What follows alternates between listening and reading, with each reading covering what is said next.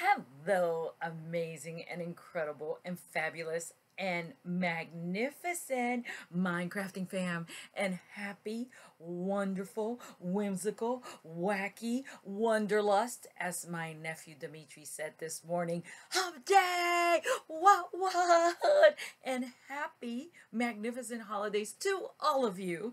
And I hope you had an incredible and magnificent Christmas. And before I forget, want to wish you a Happy New Year to all of you with many amazing, wonderful showers of incredible and magical blessings being sent to all of you and also to me and my family, of course. So, my name is Caridad. I am your Mind Elf holiday host. Welcome back to the Mind Crafting Doc channel. I am an LMHC licensed mental health counselor and I have an EDD doctorate in counseling psychology for all of you who are back, thank you so much. It is an honor, and I give you thumbs up for all you do, how incredible you are, and for always making time to hang out with me. And for those who are, of you who are new, thank you for showing up and giving this a try. So, with that being said, I'm going to throw one of those things that I see in all the YouTubes. If you wait to the end of the video, I'll show you some cool stuff. That's not going to happen. I'm going to show it all to you right now. And if you do not mind, give this video a thumb up if you like my magic elf hat. And also, if you like this video today, you are more than welcome to give the future ones a thumbs up if you remember. So, okay, let's get started. So the first thing I'm going to start with, because, you know, I tend to do this same thing over and over for my brain because it likes repetition so it can remember stuff. That's why it's so important to practice the things we want our mind to get and do different. And you also create these new neural pathways. So hello to neural mental pathways. What, what? Okay, so here we go. First, I'm going to show you what I'm wearing, which is my ugly sweater. And why not, right? It's still the season. And here in Florida, where I live at, it's a Ruskinite, we don't have ugly sweater parties. We should have ugly t-shirt parties. But anyways, with that being said, I love this little ball. Oh, yeah, little ball. Oh, yeah, little ball. so here's my sweater. You see the dinosaurs are getting it on. They are partying. What, what? And do you see the lights? Can you see the lights? Can you see it? Wait, wait. Let me turn. Can you see the lights? Can you see, it this way? Can you see it this way? Maybe you can see them when I sit down. Anyways, I love it and it has lights. Maybe you can see them here. Let's see. Oh, maybe they turned off. I can't see them anymore. oh, I can't see them. You see them? Can you see them? There they go. Wait, wait, wait, wait. Oh, maybe we need total darkness. Boy, this is taking up too much of our time. Let's see if you can see them now. Oh, It's the dinosaur Christmas party. Whoa, whoa. Where's that camel? All right, let's get back to it. So let me turn on the lights. Oh, my mouth is all in this picture. Let's get the whole picture. the whole face. Okay, here we go. So let me tell you why I am wearing this elf hat. And if you stay till the end of this video, we'll talk a little bit about grapes. All right, so the reason I'm wearing this magic elf hat is in honor of all the magical elves out there who are such amazing Santa's helper, like my girl, Terry, who went ahead and gave me all these wonderful things that were left by her friend who was so touched and loved Terry so much. So she shared that with me. Also, Julie, thank you so much, Julie. Julie shared so many wonderful things that she had and she shared them all with me to include one of the older but still newer Cricuts, which let me tell you the story really quick my niece so to tell you about god winks my niece was um asking me i would like a Cricut. I like to do one of those things you do, those machines you use to, to carry. I would like to have my own one of those Cricuts. And I was like, yeah, no, don't think so. those are really expensive. We'll wait on it and out of nowhere. Julie's giving me some stuff. I go get it yesterday, and she had a Cricut in there. I call my niece. My niece is like, What? I cannot believe it. I'm so excited. It's so wonderful. So, thank you so much, Julie, for the Cricut. My niece is having a blast, and I love all the wonderful gifts and the storage that you gave me. It is just incredible, and then some. And then last but not least, my girl Linda.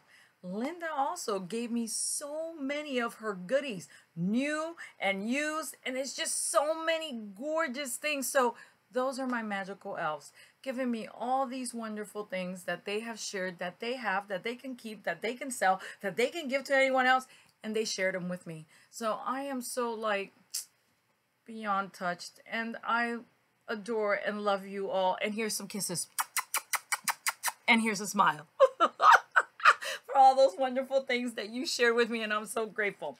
All right, so let's talk about crafting. So I wanted to first share what my girl Terry Marcus from the Ya Ya collection, she has her own YouTube. She made this for me. Look at that from Dreaming Tree. But she downloaded the SVG. She went ahead and picked the paper. She cut out the stuff. The star, she says, was the most complicated. But look at that gorgeous star. I love this. I love this. And when you pick it up, there's a star underneath. Why? Because we are all surrounded by magic and the magic of all these beautiful stars. And here's the best part that I love about this wonderful gift box that Terry made. It goes all the way around. Do you see all that bling?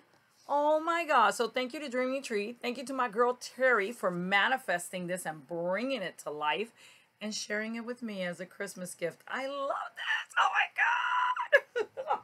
so that's one of the things. And here's the other thing. I love snow globes. And my girl made me a snow globe card from Anna Griffin. But look at that. Oh my God. You see the snowman in there? You see that gorgeous paper? Look at that little tiny poinsettia with the little jewel on it. Look at the tree, that little Christmas tree. Oh my God, with all the embellishments, all that bling on it. Look how beautiful that card is. And of course, it is an easel card. So what it does is it stands in this way. Is that not gorgeous? Let me see if I can put that there. That is beautiful. So thank you, my girl, for the gorgeous gifts. And the last thing, I want to talk about Anuschka, which I first bought from Evine, which is not Shop HQ. And at one point, they were on HSN. My husband got me these wonderful, beautiful, just crafted and artistically made handbags. So this one is a Christmas one. It's got Santa there. Oh my God, it's just so beautiful. And do you see, this is hand painted on leather. I don't know if it's fall leather, leather or real leather. Uh, we're not going to talk about that part, but I think it's fall. So anyways, look at that. Look at the craftsmanship. The des- oh my god, they colored this. They put this and then put this handbag together. And look at the back of it. All the houses, the trees, and there you read Anuschka. So if I don't love anything I lo- at all about the bag or you don't, the name is incredible. But of course, I love the bag. So moving right along. So you know, we are talking about 10 reasons to smile every day. Top 10 reasons to smile every day. So we are on number one and number four. So, number one, it says smiling Hold on here. I got to get my gadget. Smiling helps you live longer. And if you want to live longer, why not? So do one with me so we can get some extra years. Oh, yeah. That's right. All right. So smiling helps you live longer. And this is what the science folks says. Overall, happy people seem to enjoy better health and longevity, though more research is needed to understand why that is. Research does suggest that happiness could increase lifespan by years, suggesting maintaining a happy, positive mood may be an important part of living a healthy lifestyle. So here we go. You want to expand your lifespan? and number four, I hinted a little bit about this the uh, last time we met, but here it is. Smiling is contagious. Stop and let's say it again. together. Smiling is contagious. And while you're saying it, why not smile? So here's why smiling is contagious. Make sure you lend me your ear and listen in. How many times have you heard that a smile has the power to light up the room? I've heard it many. While it is certainly a beautiful sentiment, it carries a hint of truth. Just a hint, but more than enough. Smiling not only has the ability to elevate your mood, but it can also change the moods of others for the better. So when you see somebody grumpy and not feeling no best, go ahead and throw a little. you might get slapped though. So beware how you do it. But now you know. Your brain automatically notices and interprets other people's facial expressions. Automatically. And sometimes you may even mimic them. I like that word, mimic. Mimic me. Mimic. Mimic me. I'll say it a few times. Okay, maybe you can mimic me wearing this hat. Just this hat alone should make you throw this a little bit. and look, look, oh my God, interruption. I got Rudolph on my ear. And on the other side, if you can see, yeah, you can see it. There's a cactus with Christmas lights. Why? Because the Florida weather is back, and that's why I love it here. Okay. That means that you might not, oh, I'm so sorry. That means that you might spot someone else smile and unconsciously, unconsciously, smile yourself. Yes, it is scientifically proven that smiles are contagious. It is scientifically proven that smiles are contagious. So from here on out, know that when you smile, you spread the magic of a smile like a disease, and other people will get it. But this is a good disease, not a bad disease, metaphorically speaking. So, with that being said, now you know. So, I am going to share now because I skipped because I wanted to go into that so you know in case of you who didn't want to hang out with me, but I hope you did. Okay, so here we go. What is the saying? It is from Hallmark again, because I am hallmarking all. So, tease the season to be merry. 2022 is the movie. And what it says, and I want you to hear this and record it and give yourselves those new pathways. What's meant for you won't get by you. What's meant for you won't get by you. Don't forget that what's meant for you, and this is all positivity, not no negative stuff, not no bad karma. It's all good stuff. What's meant for you won't get by you. So go on ahead and take that in and keep it in because it's amazing and wonderful. And I also heard that when you go like this, spread your arms out and say, I expect greatness. You get it all. You get it all. So spread those arms out, smile, and expect expect nothing but the best. And I think I got a little off, but I'll get it when I read again. Happy for no reason because it's in there and it's a wonderful book that just massages the brain with all the good stuff. All right, and last but not least, besides that, I'm dying in the sweater because, of course, I'm in Florida. I sacrifice for you. All right, so smile at that. Okay, last but not least, wanted to talk about the, you know, this is the time when some of us don't have the people that we love and adore and that we love being around us, and they are no longer here. So, what do we do? What do I do? I celebrate them and I bring them to life energetically and mentally, and my body feels it by practicing and doing a lot of the things that they loved. I keep them alive because just because you can't see them doesn't mean they're not near. So, my mom used to have us buy grapes so a total of 12, one for every month.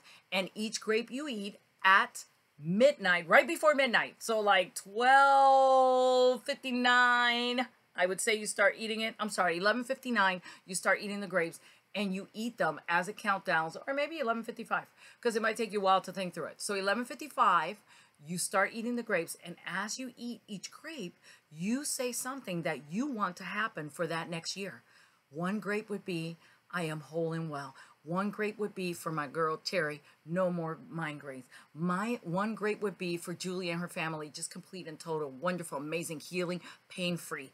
and also applies to me. One great would be just showered with heavy favor. One great would be I just go ahead and hit lotto. What not? Why not? One great would be I buy that defender. One great would be I went motorcycle driving. One great would be oh I want to drive a manual. You get the picture. So buy your 12 grapes if you don't practice it. Look it up because my son, Kenji, was looking it up and find all the people that do it, not just us. But my mom would have us wear all new clothes. And if you couldn't afford all new, just the panties and, you know, the undergarments. And also, we would eat the 12 grapes, besides the other festivities, the music, the food, but those 12 grapes. And you know what's so amazing? My husband has never practiced that act before until he met me. I think. If I have that wrong, hubby, let me know. Something new to learn. But it is so incredible how he will remember, hey, did you get the 12 grapes? And they could be green grapes, uh, the purple ones. I think they're purple. Or whatever color grapes you eat. And he remembers that and he makes sure he buys those 12 grapes for us. So it's just mind blowing and amazing and awesome. And that's why I love and adore him so much because that which he does not practice as a norm he practices by being part of loving me. So I love that. So I love you back, hubby. And lots of it. And with that being said, happy, amazing new year to all of you. And don't forget to get your grapes.